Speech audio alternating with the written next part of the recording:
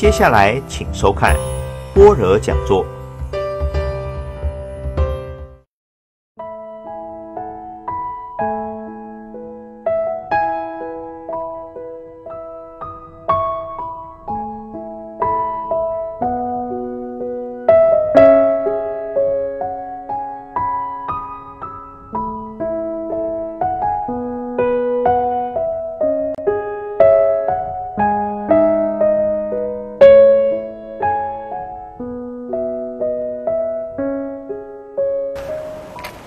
我们继续来看。那回过来看这个佛分别答这边啊，他说：“知一子，法一子，不于一子。”于是比丘内观身啊，他先观这个身受心法，先观这个身，观这个身里面又分啊内跟外，观内跟外啊。那这个是讲的比较详细一点的啊。那观跟内跟外有两种说法啊，一种就是内内跟外都是指自己自己的身里面外面这些啊皮肉骨这些，那内就是内脏这些看不到的这些啊。那另外一种就是内是指自己，外是指别人啊，观自己的身跟别人的身啊。那这两种好，那他说现在先观内比丘。内观身就是观内身的啊，常当啊，你看一心，它就是给你一个方法，让你的心专注在这个所缘上。这个所缘也许是佛号啊，也许啊是一个佛像啊。那现在是观自己的身，观或是呼吸啊。那现在是观自己的身，一心啊，就是你的心专注在这个所缘上，那基本上就是为了成就定。那定，我们说过，定最主要的功用有三个。定修定最主要的功用有三个，第一个当然就是调伏烦恼，啊，那么定可以调伏欲界的烦恼，因为定是色界的东西。第二个，第二个可以引发神通，第三个可以引发无漏，啊，就主要是这三个，啊，那那么但是最主要的是要引发无漏会，调伏烦恼，引发无漏会。啊，好，那这里一心智慧就定根慧，那四念处最主要就是只有止观定根慧啊。那勤修精进，勤修精进就是啊，一般我们说啊，修了一个闻了一个法之后，独一进处，专精思维，不放逸住。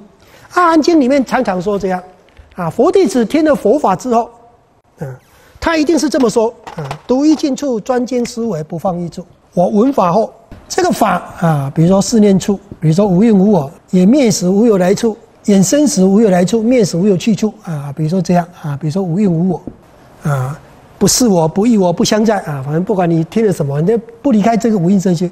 我闻法后，独一进处，找一个安静的地方啊。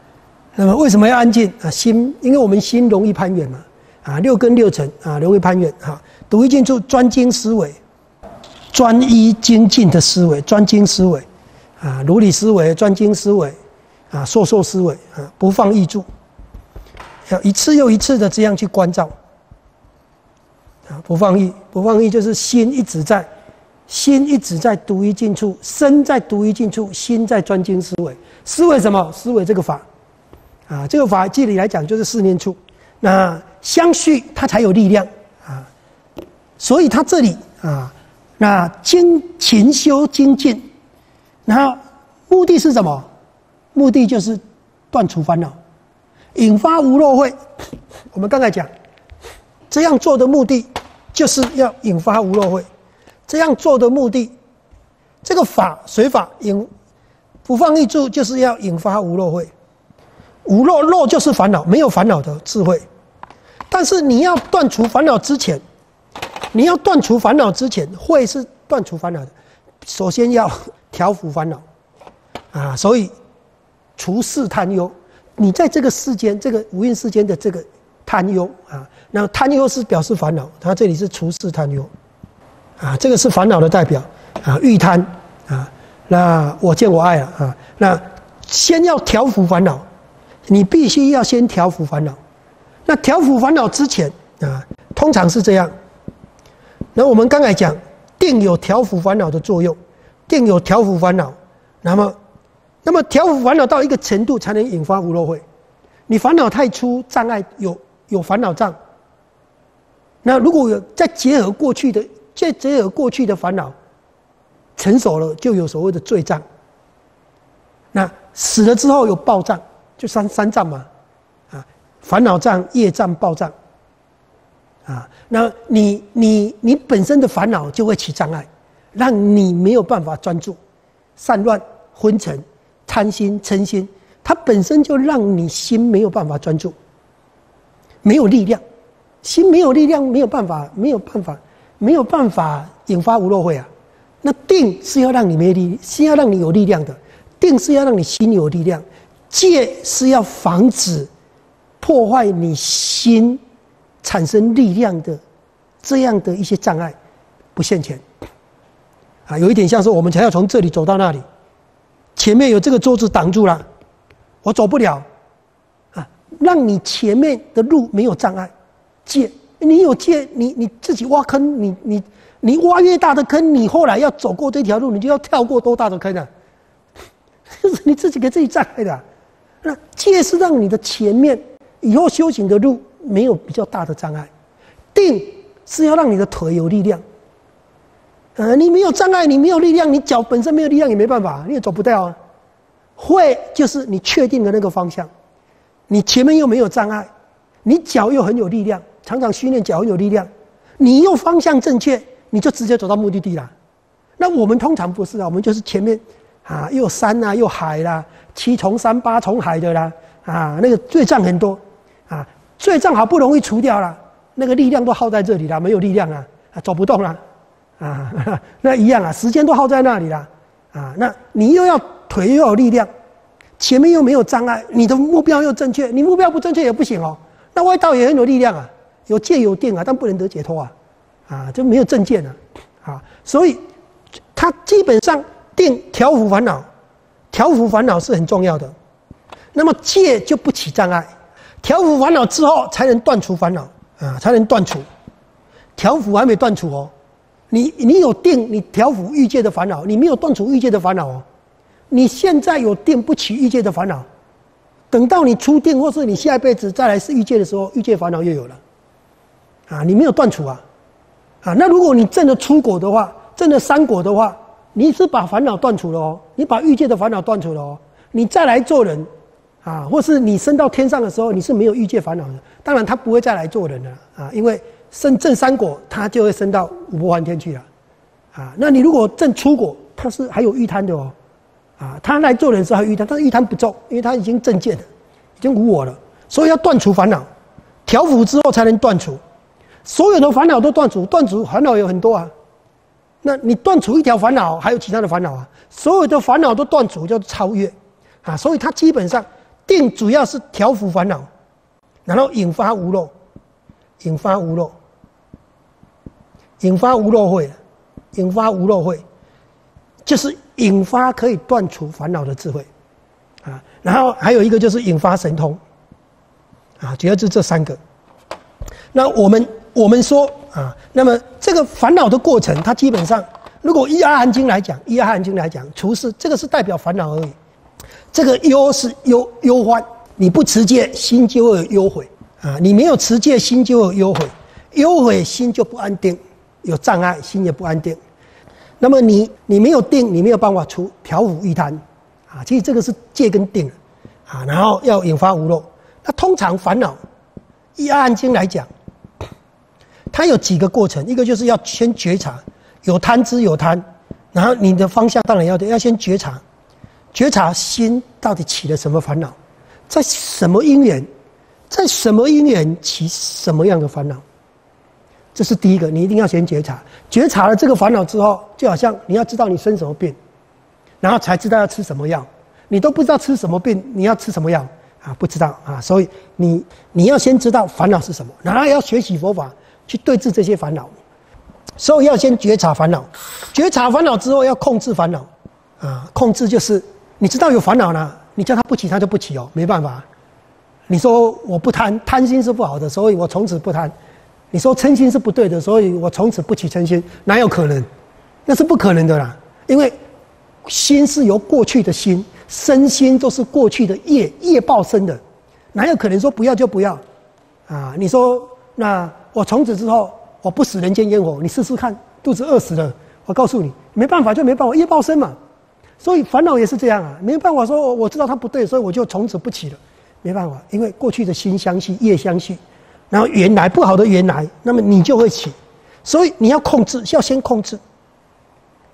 控制让它不延伸不扩大，啊，那么之后才能够调伏。调伏就是让它变小了，就好像先知道哪里起火，然后让那个火不扩大，然后慢慢慢慢灭掉这个火，那个火缩小，啊，调伏烦恼了，先控制让它不扩大，然后，然后让它缩小，烦恼的时间变少，烦恼的时间变短，烦恼的次数变少。烦恼的程度变轻，就调伏了，啊，那开始先调伏三恶道的烦恼，然后调伏欲界的烦恼，然后调伏色界无色界的烦恼，是这样的，啊，那三恶道的烦恼比较严重的贪嗔痴要先调伏。那佛法来讲，佛法来讲啊，有两个，一个就是先调伏嗔恨心，一个就是要先建立正见，啊，那这个是比较重要的。然后之后之后才是怎么样断除。那断除的烦恼，第一个就是断除身见接近起疑，这个是见烦恼啊，见惑，然后把所有的烦恼都断除了，就超越，没有任何烦恼了，叫做超越，啊，然后基本上它就这个过程，啊，从《阿含经》里面来说了，好，那所以他这里说，除世间贪忧啊，其实就是世间的烦恼了，外生内外生观，亦如是啊。那么这个观身，从别处、别处念住来讲啊，就是个别的，就观身不净，观身不净。但是其实观身从四念处里面来讲，它不是观身不净而已啊。四念处的观身基本上有三个啊，这个上次我们好像也说过啊。思念处里面观身啊，这里有分内外啊，但是它主要有三个，一个就是一个就是观身不见，身是不见。就是不净观，那不净观有观三十二身分的，以及十祥处的，啊，那观这个龙烂肿胀膨胀到白骨观，那一个就是观这个身，啊，身里面，啊，那么毛皮骨肉啊，三十二、三十一，啊，有三十三、三十六啊，反正很多种，啊，一般来讲讲三十二身分啊，三十二种的，啊，又讲到三十六的，啊，就从毛皮骨肉啊，地水火风这样观了。那像界分别观，其实也是观这个身身心的组合部分，啊，第二个就是观出入息，安那波那，呼吸的部分，那呼吸的部分比较其实比较重专注，然后观这个呼吸无常啊，那这个是一个的，一个是观身三十二身分，或是实想观，啊，实想观就是观尸体的，啊，观尸体容烂肿胀了。啊，那自己跟别人一样，内身观自己啊，从脚趾头或是从这样毛皮结果，或是观别人也一样啊。那另外一个就是行住坐卧四威仪了，啊，基本上就这三个了。啊，是不进观出入息跟四威仪，行住坐卧啊。那你看有一些就是走路的时候啊，我走左脚走右脚走，专注在这个时候啊啊，行住坐卧你都能够你都能够知道。那有烦恼起来了，你就对治它啊，基本上是这样啊。这个是四念处一开始的，啊，观身啊，受心法，受基本上以苦为主啊，但是不一定有苦啊，苦跟乐其实都是受，啊，那基本上都是最后都要观到无我了，无常、苦、空、无我。那观到观法的时候是观无我。那这个是我们要稍微先知道一下。好，因为我们大部分的人很少在修四念处，其实四念处是一个很基本的，我们应该要常常修。他说。内身、外身、内外身，它有三种：一个观内，一个观外，第三个总观内外啊，内外身。亦如是，受心法念处也是这样啊。是名比丘自一子、法一子、不于一子啊。他在解释这个自一子、法一子、不于一子啊。那基本上这个法是指的四念处啊，法是指的四念处。那我们说四念处也只是代表性的而已了，比较主要的代表。其实八正道也可以了啊，但是从不同的角度上去说的，五根五力七觉支都可以啊，甚至八大人念啊，四欲流支啊，三无漏学啊，那么其实这些七圣财其实还蛮多的啊，其实都都是啊，都是法一指的法。再往底下看，他说从今日解脱戒经即是大师。好，那么这里我们要说到所谓的，因为我们习惯性，我们我们的。我们基本上是受鸠摩罗什翻译的《遗教经》的影响，啊，所以通常都会说佛灭后告诉弟子要以戒为师，啊，那像弘一大师有写一个以戒为师，啊，那比多比较多持戒的道场也会强调以戒为师，但是如果从这个佛留下来的这些经律来看，基本上不是以戒为师，是以法为师。啊，等一下我们再来讲这个问题哈。他说：“从今日起，解脱戒经即是大事。啊，如解脱戒经说，身业口业应如是行。因为戒重点在戒身口，戒重点在戒身口。到菩萨戒才有才有意业的问题，身口不犯，他就不犯了。啊，基本上是这样。到菩萨戒的时候，有所谓的重在意业啊，所以这里。”这里讲深夜口业应如是行啊，那这里讲到以戒为师啊，那我们说过，好，来讲这个问题，一般是说啊以法为师啊，一般是以法为师，其他的我们刚才讲这个讲这个遗教经佛灭后到底说什么的啊，包括遗教经大概有七个，那么。大部分都是以法为师，那法跟律合在一起说，啊，但是以法为主啊。那一般是以法啊，法跟律啊，以戒。我们来看，先看举个例来讲啊，比如说《长阿游行经》，这个是写的最详细的啦，啊，《长阿游行》有单行本啊，就最详细的。我成佛来所说经戒，啊，所说经戒，经就是法，啊，戒就是律了，啊，即是奴乎？啊，是奴所是。啊，那佛佛灭了，那我们怎么办？啊，以佛所说的依法依律，啊，那么这八力八力禅部啊，那么也是类似像长阿含，我所说之法律为奴等乎？啊，简单讲，其实一样的，那大部分都是这样的，都是先讲法，然后讲律，但是也有先讲律再讲法的啊。那像一教经主要就是讲戒而已啊，那这个比较少。啊，那所以啊，这个是西北印的有部律师，啊，像有部跟有律里面杂事里面啊，他也是一样，他强调戒律，所以他就变成以戒为师。那一般其实是以法为师，那法其实包含律，法其实是包含律的啊。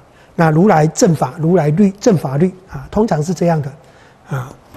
那律是包含在法里面，因为一开始佛说法的时候并没有律。十二年后才有开始自戒，啊，那么一般的律是初初最初的啊，一般所以他会讲如来正法律，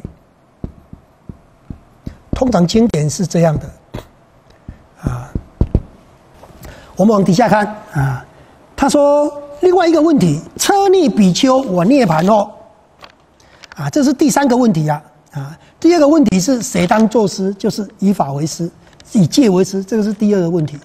啊，第三个问题啊，我们可以看到三十九页里面四个问题嘛。他说：“二口车逆云何共住？”他说：“车逆比丘，我涅盘后如犯法智，若心软服者，应教三陀迦旃延经即可得到。”好，那么这里有两个问题，一个是车逆比丘一杂含经来说，它有两种说法。车逆就是禅陀比丘了啊。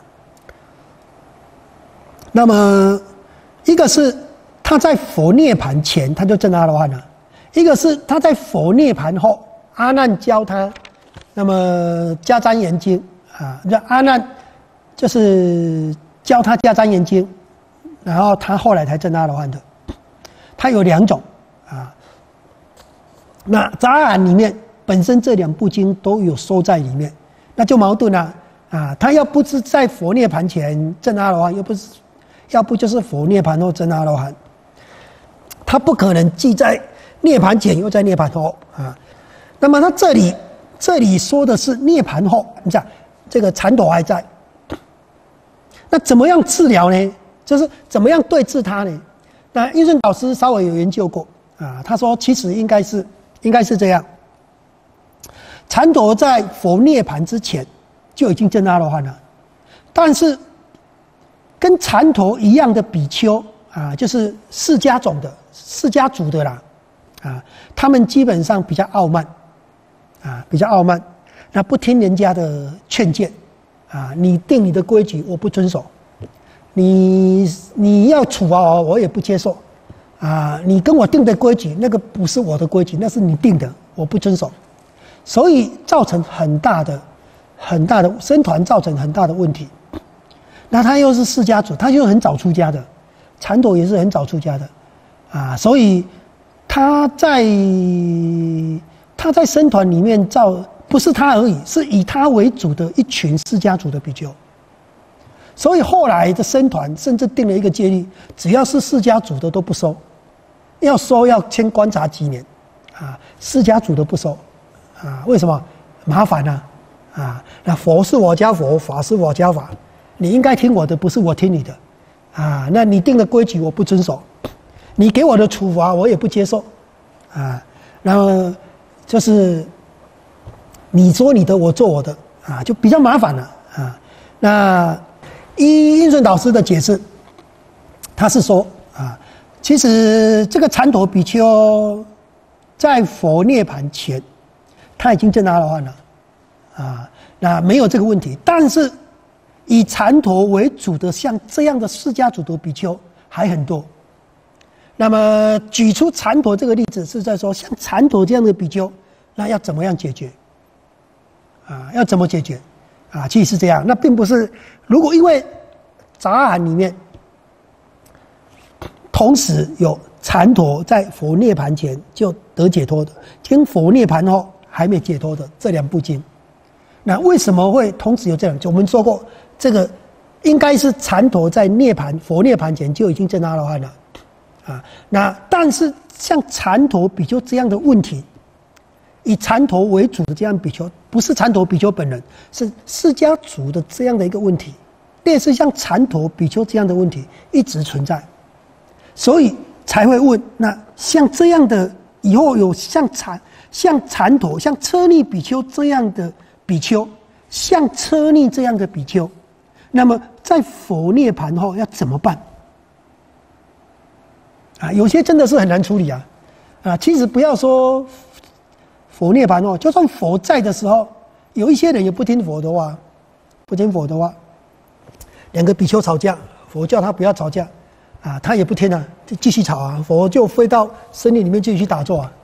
摩羯陀果啊，有一些比丘尼根本就不听佛的教诲，那佛陀讲他也不听，佛陀劝他也不讲不听不接受，佛陀没办法，后来就离开摩羯陀果，教又教教又我教你又不听，那那那很麻烦啊，就是说我我跟你这样讲，你就偏不要，我叫你这不要这样，你就偏要，那怎么办？啊，佛陀想说。啊，如果比丘的话，他就啊，他就离开了，他就他就自己到去打坐。我说我也管不到嘛，我也管不了。就你不要说的话，佛大家都尊敬他，没有有些人也不听啊。啊，像提婆达多还出来跟他对抗呢。啊，那佛讲了几次讲不听，通常讲三次讲不听，他都不讲了。那不讲怎么办？啊，就离开啊，啊，就不能怎么办？那比丘尼他也不是住在比丘尼僧团啊，但是他去跟这些比丘尼讲，这些比丘尼也不听啊，那怎么办？啊他甚至就离开那个摩羯陀国了，啊，那个阿后来那个阿哲斯王很想生气，啊，就把那些比丘尼全部赶出去了，啊，因为因为你不听的话，导致佛陀不再来这里了，啊，那所以像类似像这样的问题，即使佛在的时候也有，但是佛在的时候，基本上佛还是有威德力的，但是并不是代表每个人都听哦，啊，但是佛灭后，这个问题就更棘手了。啊，佛在的时候，佛还有一些威德力，有一些大阿罗汉呢。佛走了，谁管谁啊？对不对？谁理谁啊？就比较麻烦了。啊，就好像我们其实我们现在仙团也有了。师傅在的时候，这些师兄弟不管怎么不和，基本上还是以师傅为主嘛。那师傅走了就很难说了，对不对？啊，你你又不是我师父，你是我师兄，或是谁谁谁理谁啊？啊，就比较麻烦。佛在说就有了。好，所以它是一个问题啊啊！他说：“车利比丘，我涅盘哦。”佛就回答啊：“如犯法治啊。那如果他的心已经调伏了，那么就跟他讲讲这个三陀迦旃延经即可得到。好，这里有两个问题啊，一个就是犯法治。好，犯法治，我们先看一下它底下的解释。底下解释十四个啊，他这里稍微稍微有说到啊。那么。自是王种，其自是底下注解十四，轻诸比丘啊，就是看不起其他的比丘了啊。他认为佛是我家的佛，法是我家的法，你应该听我的，不是我听你的啊。身法事实及轻笑也啊，如是落叶旋风，所缺俱在一处，何所互论？佛去世后犹自不改啊。那么佛令作饭坛为莫病啊，这个叫做莫病，意即梵天治罪法，别立一坛。其犯法者，令入此坛，诸犯不得共也。好，犯坛法啊，它基本上是说犯王啊，这个大梵天王啊，犯王是大梵天王啊，是色界的。那么天界，天界有众，天界有聚众，有众，有王，有臣，有人民，基本上只到初禅，初禅天而已，二禅天以上就没有了。啊，就是天界基本上也是这样的，天天界它有它有欲界天、色界天、无色界天嘛。那么色界天从初禅啊、二禅、三禅、四禅，然后无色界天，这个到这里为主，基本上从这里划分。这边有众啊，就是有有有王啊，然后有辅，辅就是有臣、辅臣、大臣呢，还有人民。像国王，啊，那二禅以上没有无形无事了，啊，那所以初禅里面，啊，色界这个是色界，欲界都有，欲界都有，欲界六天都有，啊，从四王天到他化自在天都有，啊，那么都有国王，啊，那就是有一个主要的国王，然后底下的大臣，啊，然后人民，那像初禅天啊，梵王，大梵天，啊，梵王。范福天，其实它就是一天而已啦，但是因为它的果报不一样啊，所以就变成三天。范福、范众。那如果我们依西方的说法，这个叫上帝，这个叫天使，这个叫天人，啊，基本上就这样了，啊，那二二禅天以上就没有了。啊，它是因为它在禅定里面，它是一个人一个世界的，这个都是定的。然后到六欲天，这里有六欲天都有。那再下去，啊，地狱没有，地狱没有。然后鬼也有，鬼也有鬼王，畜生里面也有，有些有，有些没有。啊，像蜜蜂、蚂蚁这些有蜂王，有蚁王；猴有猴王，虎有虎王啊，一个区一个区的，啊，基本上都有。啊，鬼道、畜生道，第一道没有，第一道没有王。啊，没有人民，没有没有没有大使这些，但是有狱主，啊，那那其他的基本上都有啊，都有。那这个放放王啊，大放天王，一个大千世界有十一个放王啊，啊，那还蛮多的啊，因为一个世界就有一个梵的话，那么一个大千世界有十一个世界啊，有十一个大放天王啊，梵王，所以大梵天广也有管百世界、千世界啊，也管看看啊，看这个。世界的大小，那么他都在放宫啊，就放个天宫之前就建一个坛，建一个坛，像我们戒坛这样建一个坛，啊，那天众如果不如法啊，我们叫做犯了天条，啊，然后如果有不如法的，那什么叫不如法不知道啊，因为他们犯基本上他们也有他们的规矩了啊，但有一些天人的根性可能就没有那么好，好像人也一样啊啊啊，那么另立坛上啊，就站在那个坛啊，比如说。比如这里一个坛，啊，就让他站在那边另一坛上，其他的天众 不与之往来言语，都不可以跟他讲话，啊，那这个叫做默病，这个叫默病，啊，就是不跟他讲话，不跟他在一起，那么要讨论事情，什么事情都不找他。但是这个我们的病里面啊，基本上有两种，一种叫灭病，一种叫默病。灭病是犯大戒的。那犯大戒就是他不供住，不供语，不供结盟，而且他要让他舍弃这个袈裟，就是让他失去这个身份的。其实他就已经不算是出家人了。如果他不舍去袈裟的话，以前佛陀时代国王护法，那么他会让他不能再穿这个衣服。像泰国、缅甸他们也会这样，要让他脱去这个袈裟的。那像我们现在政府管不到这边来，不管这里，啊，那佛陀时代也有。那这种比丘基本上很多是，他就是犯大戒，犯大戒里面犯淫戒的比较多，其实还蛮多的，啊，但是他有两种，一种就是啊，比如说。他有被关或没有被关，那被关回来，他有时候他还穿上，啊，然后当做没发生。那有一些就是没有被关，啊，然后事迹也没有暴露，但是又少数人知道。那这种佛法，他把它叫做贼住比丘，啊，他基本上不可以再穿了，贼住了，叫做贼住比丘，啊，贼住比丘跟比丘尼都有了，啊，那在佛陀时代就有了。啊，但是比较少，因为它很容易被清除掉。那佛灭后这种情况就很麻烦，啊，藏传的更多，啊，因为他们还有所谓双修法的问题，啊，就比较麻烦。南传的、北传的都有，其实都有，啊，像现在北传的这个问题也蛮严重，因为它它不是一个像泰国、缅甸他们有国家会去执行这种，啊，它规定你不可以，它就它会通令所有的僧团。那像北传的话，就这个就比较麻烦。那这个叫灭病啊，就是他已经犯大戒啊，杀盗淫妄都有。那么，但是像盗戒的话，现在很难很难说盗戒到底是，因为以前是五钱，那五钱这很麻烦啊。那么犯死罪或犯重罪了啊。那所以犯盗戒到底是，比如说你亏损侵损常住，那么多少钱被判刑也有的也有。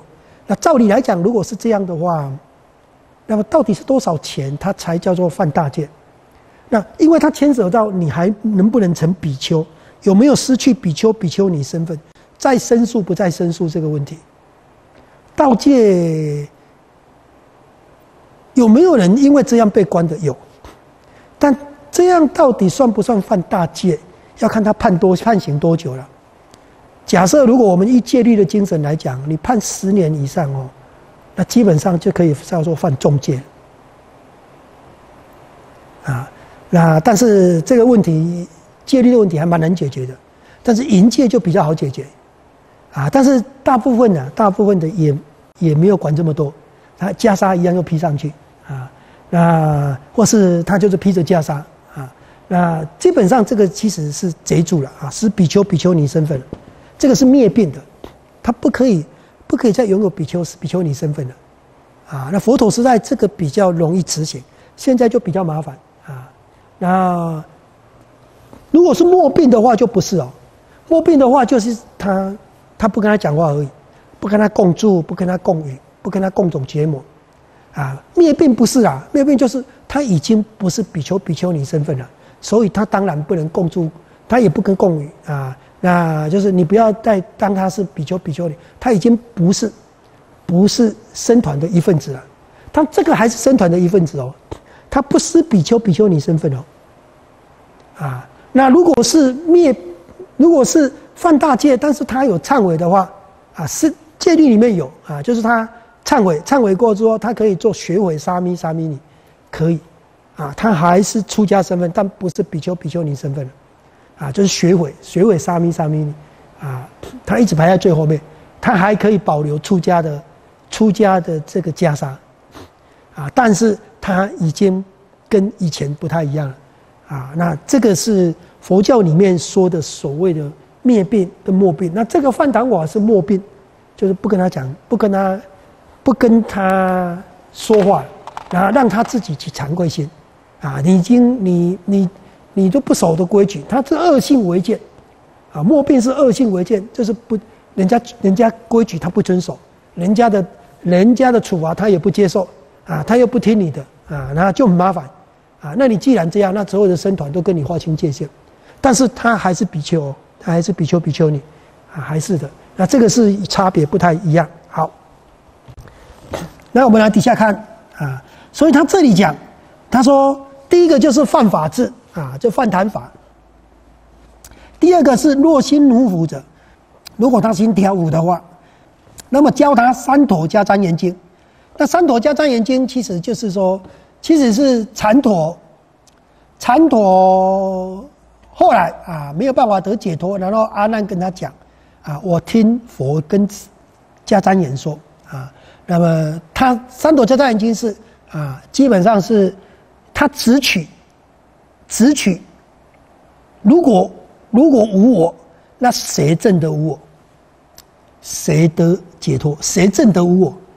如果是无我，那要有一个我证得无我啊。那但是这个你谁证得无我？啊，所以他在这个问题上卡住了。所以就要跟他说，那并不是所有的人都会卡住这个问题啊，那只是禅陀本人啊卡住这个问题。所以阿难知道了啊，就跟他说啊。有因有缘世间己，啊，他是这样的，这个是佛为佛为加瞻言说的。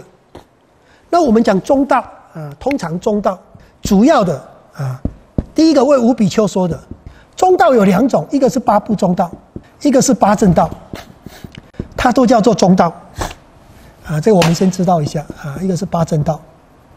那这个就是八部中道，其实就是所谓的法根啊，这个就是方法啊，这个是真理啊。那八部中道里面，如果真要讲有十个啊，那我们先来讲啊，中道里面啊，主要是为五比丘讲的，离苦乐两边。其实中道就是离两边的啊，离两边，两边就是错误的，离两边啊，离苦跟乐的两边，苦行跟乐行都不是得解脱的方法。第二个，第二个是啊，离长短的两边，这个是为五比丘讲的。有一个常见的，有一根断见的啊。那等一下我们再来讲啊。另外一个就是为为这个二十亿而讲的，它是离急缓的两边，急跟缓啊，修行的态度太急太缓都不对啊。那最主要的啊，我们把离长断其实也跟为五比丘讲的了啊。那加展眼讲的，这五比丘其实还有离长断两边啊。长段的两边，那个一加瞻眼讲的啊，就是这里讲的加三头加瞻眼，离离这个离这个有无两边，主要啊主要是这个有无两边。那这个有无两边它是什么呢啊？那么他说正见世间己者，有因有缘世间己缘起，这个是一个很重要的观念。啊，有因有缘世间己，有因有缘世间灭。这个世间最重要的是五蕴世间，啊，五蕴世间。那五蕴世间的正报是有情世间，跟有情里面的啊，就是它的正报就是人，从人来讲才是五蕴，啊，然后有情的依报国土世间。那主要就是有因有缘，我们才有这个身心果业报啊，有因有缘世间起有形成。啊那么他说：“正见世间己者，不生世间有见啊，不生世间无见的。你只要正见有因有缘世间起，你就不会觉得是断灭的无我，不生世间无见。那么正见世间灭者，啊，正见就是如实正观，啊，如实正观，所以叫中观嘛，啊，中道如实正观，中道如实正观叫中观，啊，那么。”那么有有缘世间起有没这个是中道啊，中正见世间灭者，不生世间，你就不会觉得我世间主要是五蕴世间啊，或是六道众生，或是这个国土啊，那主要是是五蕴世间的啊，五蕴啊，或者是六处，或者是六界啊，那不生世间有见，你就不会执着有，不会执着无，那离有无两边啊，主要是这三个了。然后讲开了多了，就变成啊，有生灭啊，还有为外道讲的，为婆罗门讲的啊，生灭长短一意来去，就变成八部中道，生灭长短一意来去。那大圣里面啊，以生灭为主；阿含经以有无为主。啊，那再讲多一点，就不是指这个，还有很多啊，《般若经》里面讲的可多了，但是龙树整理出来就变成生灭长短一一来去，啊，就变成八部中道。那岳家章言讲的就是离有无两边，啊，那就是有无长短一一来去啊，生灭跟有无是一样的，啊，基本上是这样了，啊，就我们讲的中道，啊，那八正道中道里面的中道里面的八正道，啊，主要是啊苦集灭道啊，因为中道有因有缘世间集，有因有缘世间灭，啊，那有因有缘就烦恼。有烦恼业，所以有这个世间果报，有这个五蕴世间的果报，有这个业报生，所以无名行识名色六路处说爱取有，生老病死忧悲恼苦，所以有这个苦，这个世间是苦。那世间的形成有因有缘，这个是烦恼业，这个是集，集是烦恼跟业，所以祸业苦嘛，祸业苦，烦恼里面最主要是无名。祸业苦啊，苦集，那有因有缘世界灭灭道灭，怎么样可以灭这个苦？灭苦之道，怎么样可以灭？有因有缘是什么？会定跟会啊，主要是会，那会由界定会来啊，有因有缘世界灭啊，就苦集灭道。那怎么样产生这个会？就是八正道啊，就是主要讲我们说四念处跟八正道。啊，所以就变成苦集苦集灭道啊，这个道是主要是八正道啊，或者是四念处啊，三七道品里面都是了啊。那这个就是苦集灭道四谛啊，所以缘起就是四谛啊。那这个道就指八正道。那么如果如果从它的正见无漏的正见来讲啊，它其实就是八部中道，离苦乐两边，离。有无两边，离生灭长短一一来去两边，啊，那基本上是这样了，啊，那这个大家稍微稍微理解一下。所以说，假设他心已经比较调伏了，啊，不再烦恼那么重了，不会恶性为奸，那么就跟他讲啊，这个三陀加张眼睛，这个就禅陀说的了。那其他的人不一定有这个问题啊，啊，好，那么即可得到。好，那第四个问题。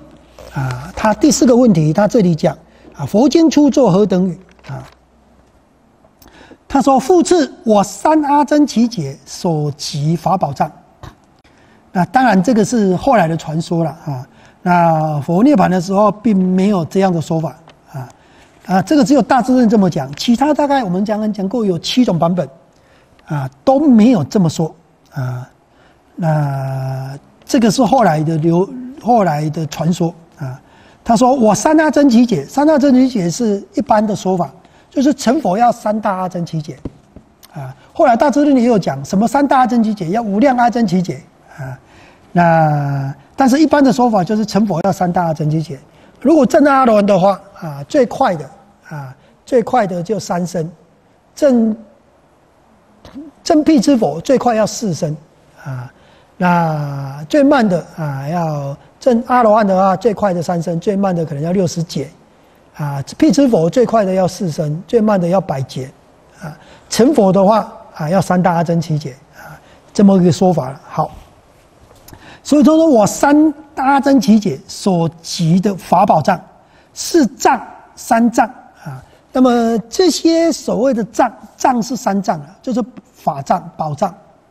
那我们说的，比如说我们的所谓的藏经。藏经是后来的人把它结集起来的，我们有非常多的藏经，我们把它叫做大藏经。那大藏经有很多种啊，像我们比较熟悉的，比如大正藏，那个日本人的啊，那高丽藏，韩国的。那我们有很多的藏啊，比比较完整的叫，比如说龙藏，乾隆结集的大藏经啊，非常多了。像现在又有很多啊，佛光藏啊，什么大也也非常多。那么他说是。这个藏经三藏，三藏基本上藏基本上是三藏啊，也有四藏五藏的啊。那通常是经律论三藏。最初因作是说，如是我一时佛在某方某国土某处树林中，啊，也不一定在树林了啊。你像灵鹫山就没有树林了啊，它是一个平台。那这个是这个是后来大智论里面传说的了啊。何以故？过去诸佛经出啊，所有的经的最初都是这样说。未来诸佛经出亦称亦称是。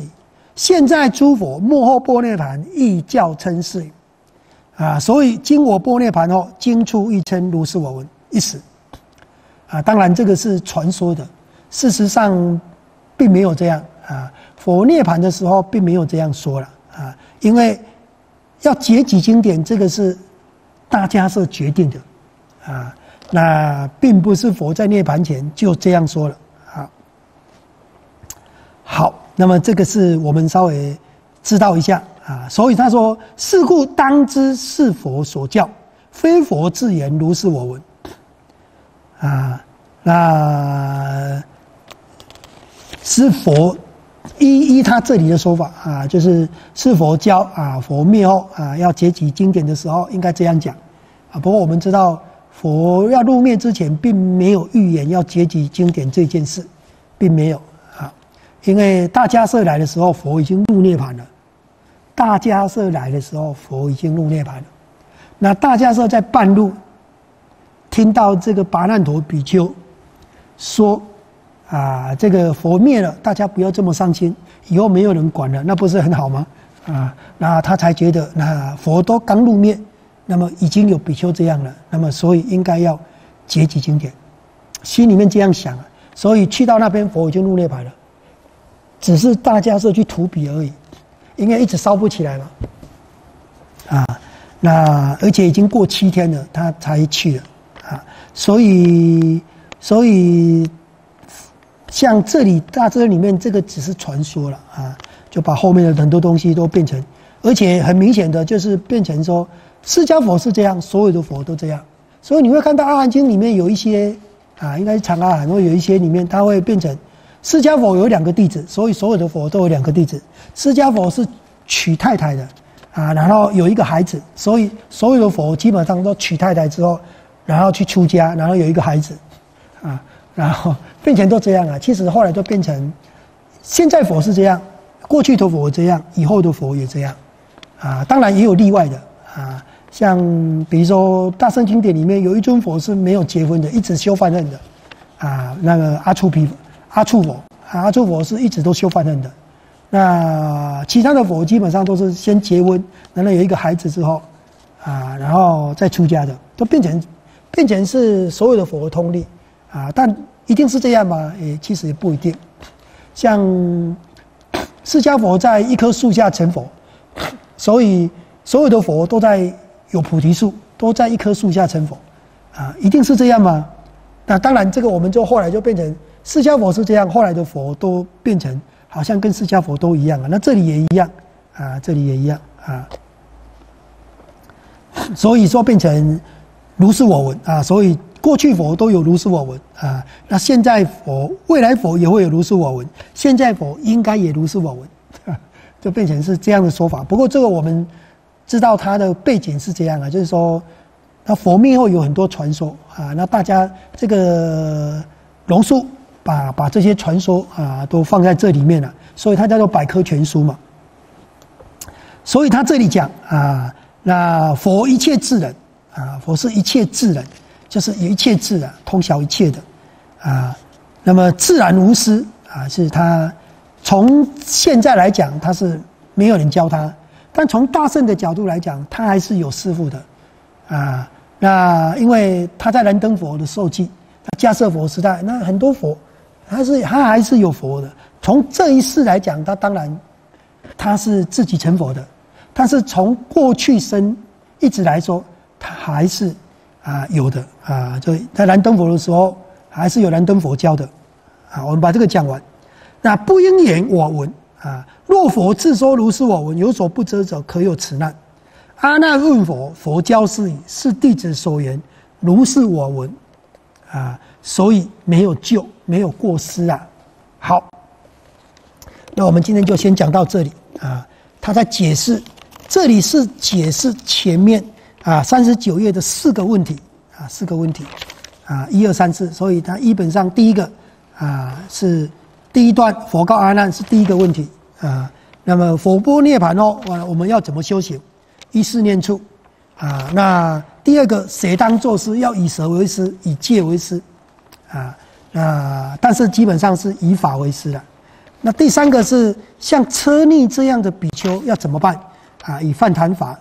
那第四个，那佛经所有的佛经，那最初要说什么啊？要说如是我闻啊。这个是这四个问题。好。那我们今天就先讲到这里，大家合掌回向，愿以此功德普及一切，我等与众生皆共成佛道。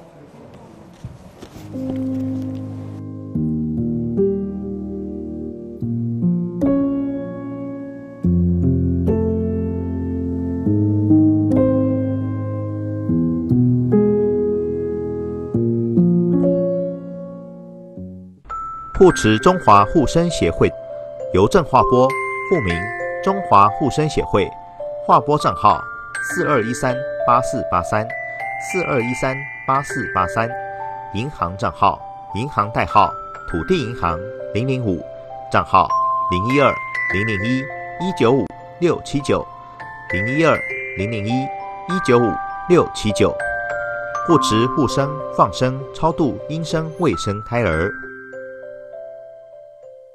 清明孝亲报恩，佛教慈悲置业高雄分会举办八关斋戒祭祖操剑普施法会，恭请湛山法师、湛江法师、湛同法师主法。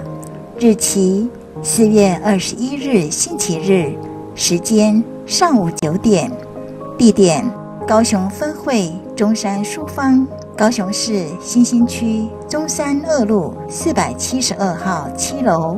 敬邀菩萨参与熏习，同沾法益，共沐佛恩。法会设有各项功德主项目，欢迎提前来电登记。洽询电话：零七二二一二三二三或零七二八二零二七八。法会直播，请搜寻脸书、FB 佛教中山书坊。慈悲置业花莲分会陈真法会布置机动义工、值班义工、半日班、环保组义工、香灯组义工、行政人员共同发心来培福。地点花莲中心，花莲市建国路一百六十号，电话零三八三一一六七三零三八三一一六七三。敬请与会菩萨全程配合防疫保护措施。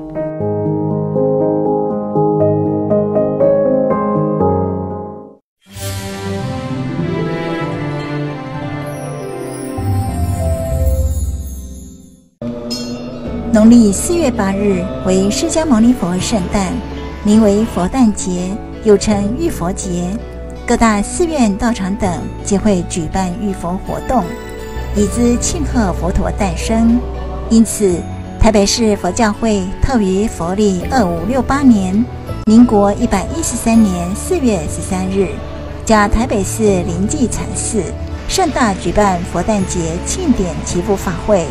敬邀全国各地诸山长老、贵宾及十方信众前来共襄盛举，场面庄严隆重。法会开始，大众齐唱三宝歌，梵音肃然，摄受全场。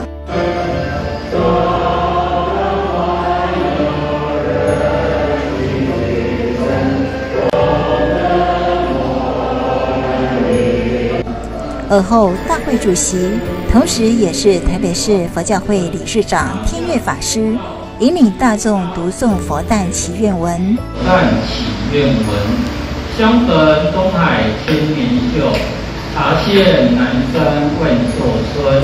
佛光普照吉祥地，自众同喜庆佛诞。佛历二五六八年，恭逢教主本师释迦牟尼。佛圣诞，台北市佛教会天乐率领师一四众，特举办玉佛庆典大法会，缅怀圣恩，伟哉佛陀慈心无穷，悲心无量。啊，佛陀在讲教，的是讲，咱无法度向佛陀先知先教，咱爱后知后觉，总是袂使不知不觉啊！你不能不知不觉啊，你一定要觉啊！咱护理师长讲，恁有佛心，恁都可以成佛啊！啊，你要赶快觉啊！你心中的那一物件，心中的这个物件已经压早去啊！你爱切啦！啊，时时念佛号，时时爱观内心，向内底观，向内底看，你向里面看，你就会清楚，你就会安静、冷静、清净，啊，安静、定静、平静、静静静，静心属最清啊！啊，你的心就能够安静，你就能够明一切法。所以呢，今天就有这样很好的因缘啊！哈，大家都聚会一堂，在座呢，来呢参与哈，共襄盛举这个盛会啊，让我们这次的法会哈，一佛的的法会更加圆满哈，啊，以此功德祝福大家哈，安尼平安喜乐啊，而且吉祥如意哈，感谢咱大家。各位长老、法师，还有各位居士，大家恭喜恭贺！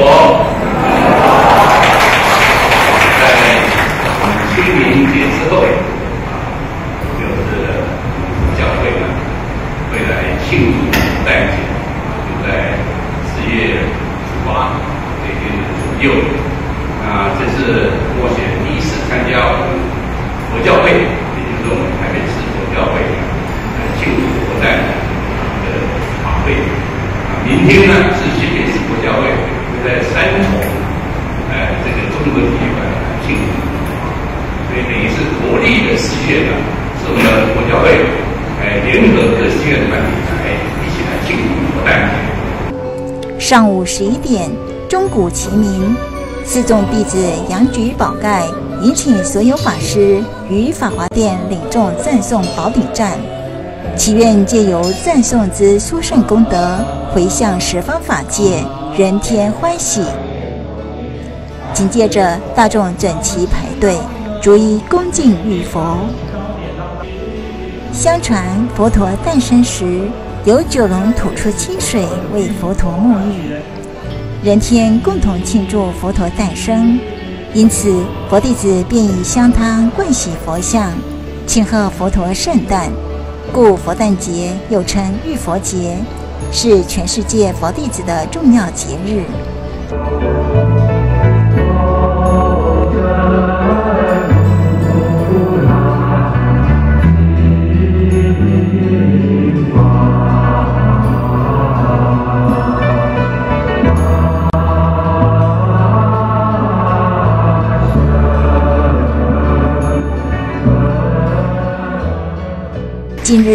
佛诞节庆典祈福法会，佛教慈悲置业基金会非常感谢主办单位的应邀，护法团队同沾法益，共沐佛恩。主办单位同时宣达感谢佛教慈悲置业各单位布施今日的斋僧供养金，特生谢忱。佛诞节庆典祈福法会。上午时段，在十方信众恭敬玉佛后，圆满顺利。祈愿借由玉佛，大众皆能洗涤身心污浊，获得清净自在。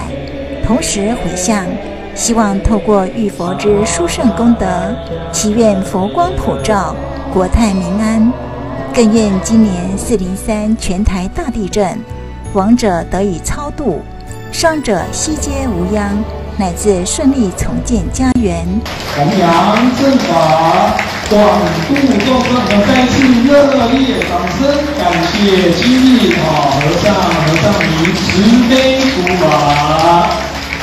佛教慈悲置业台北市采访报道。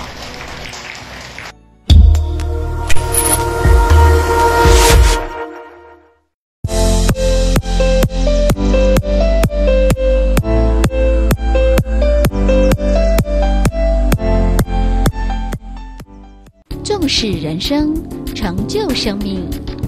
生命电视。